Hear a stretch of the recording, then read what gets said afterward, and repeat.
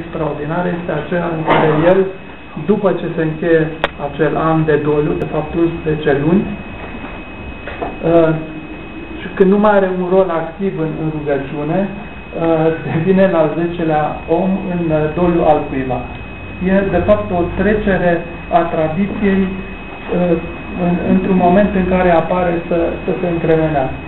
După aceea am avut un alt titlu Uh, în care aș vrea să vorbesc despre diminețile personajului Leon Wieseltier.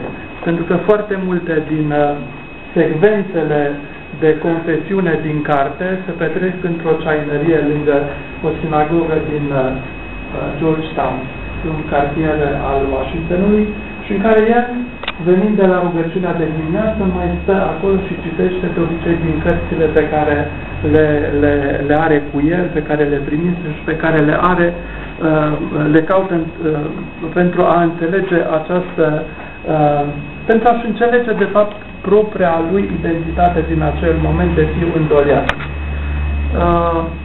Am mai avut încă vreo câteva titluri și până la urmă am încercat să fac o combinație, poate și sub uh, Imperiul Modei, pentru că titlurile dacă ați văzut mai ales cele academice americane, aproape întotdeauna un titlu și subtitlu.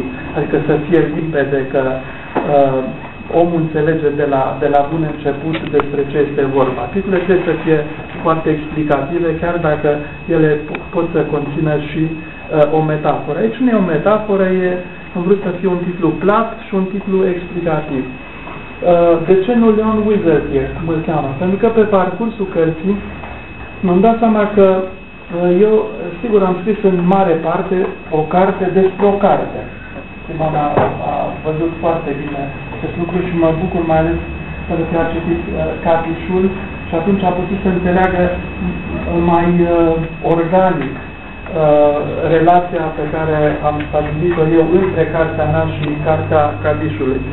Uh, uh, prin urmare, uh, am mers pe această, pe această structură încercând să înțeleg uh, procesul prin care un uh, tânăr intelectual evreu hiper uh, dotat, pregătit de mic copil să devină uh, probabil rabin. La un moment dat iese din propria lui tradiție și vreme de câteva decenii, de aproape 30 de ani, trăiește ca un laic, ca un goi, iar momentul acela dramatic în care moare tatălui uh, îl, îl obligă să revină în tradiție.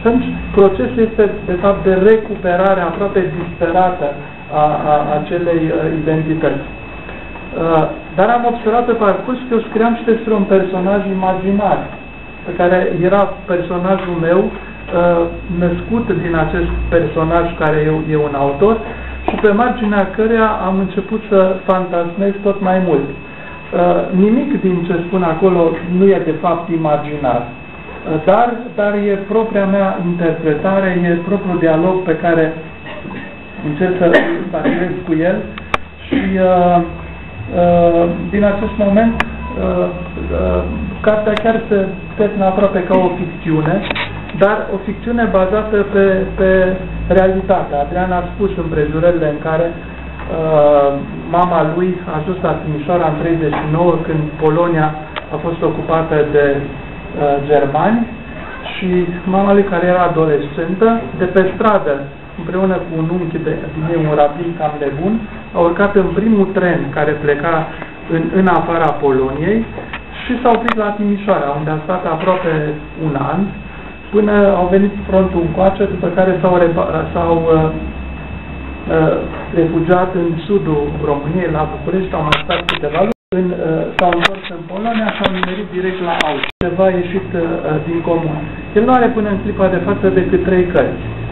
Una e o carte care se numește Război nuclear, pace nucleară, și care a apărut mai întâi acoperind aproape un întreg număr din revista The New Republic, și o încercare a lui de a descrie strategia uh, uh, militară a Americii. Sigur, de pe poziții filozofice, pentru că educația este de, de filozof. Impactul a fost atât de mare încât se spune, nu știu dacă e și adevărat, că în, în acel moment mulți dintre strategii de la Pentagon au decis să schimbe această strategie. A doua carte este o cărțulie de, nu știu dacă are 20 de pagini, se numește împotriva identității și încearcă să înțeleagă caracteristicile americanului de la sfârșitul secolului al XX-lea. Și în sfârșit această carte Cadiș, uh, care uh, pe mine m-a marcat în, într-un mod cu totul neașteptat, pentru că vedeam în ea, sigur, o experiență intelectuală, vedeam uh, talentul scriitorului, dar nu băneam că va, ea va fi, la un moment dat, și o experiență de, de viață uh, pentru mine. Probabil că la ora asta Lion doarme. Uh, N-ar trebui să doarmă dat fiind pus orar, dar chiar înainte de a pleca de acasă astăzi la prânz, i-am, uh, i-am scris un scurt e-mail să-i trimit o diplomă uh, să arăt că, iată, cartea noastră uh, a fost premiată și am rugat pe cineva din familie să mă scaneze și m-am scuzat, zic, diploma uh, arată, arată cam urât. Zic, dar banii au fost uh, destul de buni. și uh, foarte ciudat, el mi-a răspuns aproape imediat, deci trebuie să fi fost cam 4 dimineața și era așa textul, ugly, ugly, adică urâtă, urâtă, dar noi suntem în ea. uh, vă mulțumesc foarte mult și uh, uh, vă sunt foarte recunoscător că ați venit aici să ne mai întâlnim. Uh, anfitrioanelor noastre, ca întotdeauna, nu pot să le mulțumesc pentru că să sunt timid așa în relațiile cu băieții. și nu știu ce. Dacă aveți vreun exemplar, pe aici vă dau autografe cu multă plăcere. Mulțumesc încă o dată și promit să vin și cu următoarea carte, nu știu când o să o termin. Uh, va fi o carte despre William Faulkner, la care chiar lucrez de multă vreme. Se va numi William Faulkner, romancier și festiv. Uh, mulțumesc mult și asta este.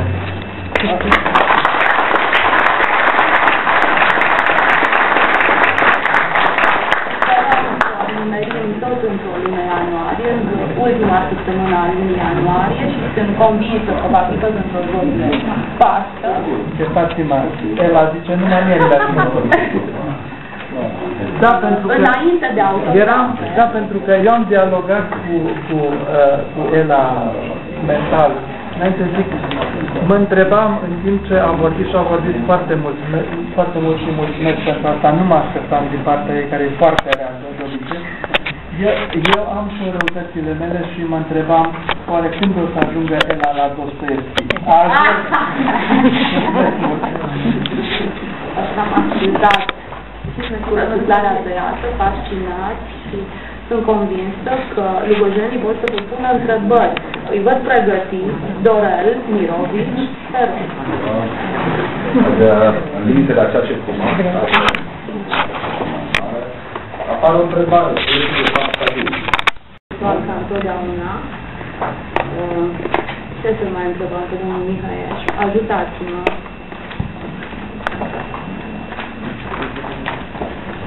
Uh, vorbeam la un moment dat de o formulă perfectă care este astăzi aici, Adriana Babeț, domnul Mircea Mihaie și domnul Cornel Ungureanu, despre un proiect a treia Europa despre care s-a scris mult, s-a vorbit mult și îmi permit să îl întreb pe Mircea Mihaieș unde se mai află, ce se mai aude, ce se mai întâmplă despre total neideologic de altfel, în ciuda acuzațiilor care au existat în acest sens, a avut partea lui de contribuție în a pregăti uh, România, o parte mică din români, pentru această nouă experiență, să zic, benefică. uh, a, a, a țării. Uh, Altminteri, uh, mai există câteva datorii pe care membrii grupului a treia Europa continuă să-l aibă și domnul Bureanu stă pe un malder de manuscrise care ar trebui să